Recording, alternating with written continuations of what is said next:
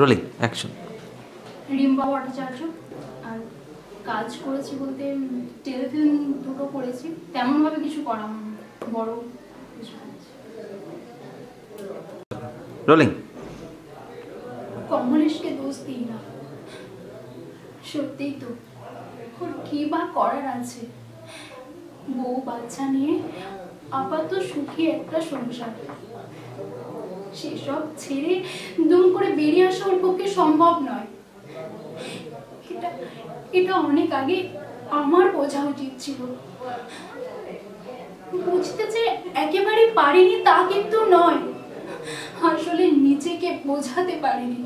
গত সাত বছরে বহুবার মনে হয়েছে আমি একটা মিথ্যে স্বপ্ন দেখছি। কিন্তু কিন্তু যখনই ওই মানুষটা আমার কাছে এসেছে আলতো হাতে ছুলে বিলি কেটেছে। আমার আমার কানে লড়িতে ঠোঁট রেখেছে। আমি আমি হারিয়ে গেছি। আমার মনে হয়েছে, কই, কোথাও তো মিথ্যে নেই।